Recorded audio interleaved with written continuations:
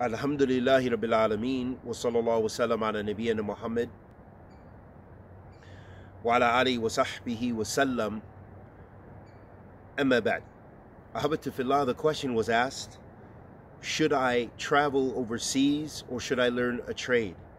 And that my opportunity to travel overseas in order to seek Islamic knowledge is uh, limited and it's a rare opportunity. Should I seek a trade or should I travel? So this is a question that's been posed many times and to many uh, scholars and students of knowledge regarding this issue. So there's a lot of information out there. And so really that situation, when a person is in a situation like this, that is up to them to determine what's going to be best for them because no doubt the Prophet ﷺ said, طلب العلم فريدة على كل مسلم ومسلمة that seeking Islamic knowledge is an obligation upon every Muslim male and female. So we've already established that it's an obligation to learn the obligatory duties. Not that everyone has to be a scholar, everyone has to be a student of knowledge, but everyone has to have something of knowledge so that they can practice their religion properly. They need to know their creed because many of the Muslims, in fact, you'll find, do not know much about the correct creed, the creed of Ahl Sunnati wal Jama'ah.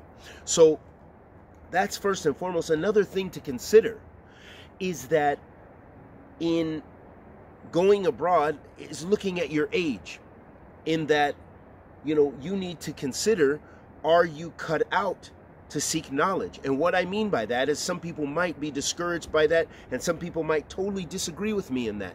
But i'm just speaking only from my experience and what i've seen.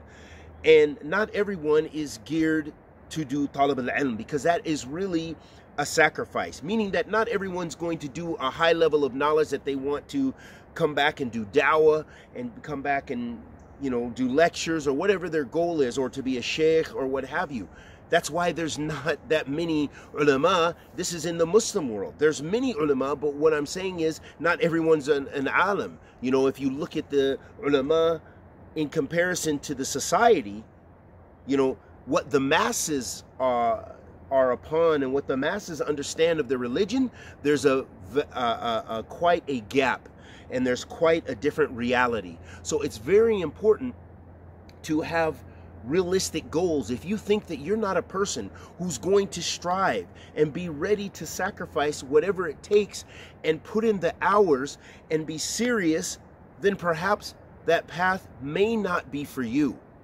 and that maybe you can help the deen in another way, especially if you can do some Islamic studies in your locality. So those are things that you have to consider with regards to you and your lifestyle.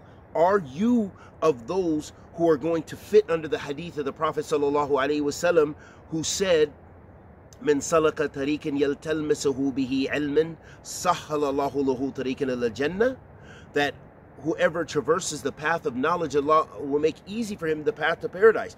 Are you one of those who are going to really traverse that path? Because I know many people who left to go to Damaj, even myself, who didn't stay. And many people who went and literally bought and invested, and within a month they left. And even left Talib al-Ilm. So this depends on the amount of sacrifice that you're able to uh, put into this and it depends upon your desire. Do you have the rugba? And do you have the uh, you know the the willingness the desire and the fortitude and the patience to be strong on that path? Because it's a strict it's a steep path.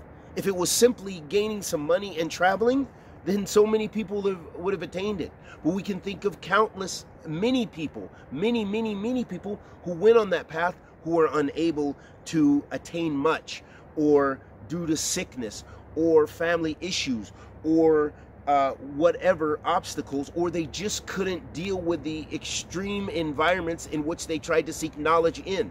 Whatever the case may be, it is a steep path And may Allah subhanahu wa ta'ala bless us with success and bless us with ilm nafiya wa rizqan tayyiba wa mutaqabbilan.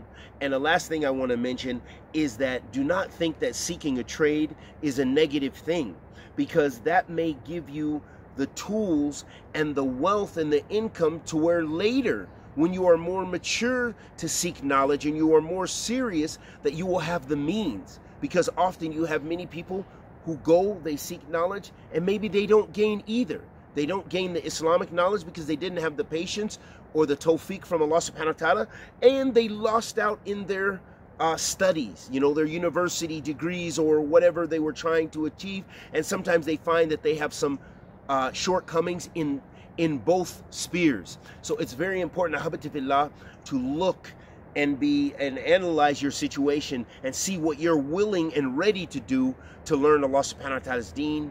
Wa sallallahu wa sallam ala Muhammad.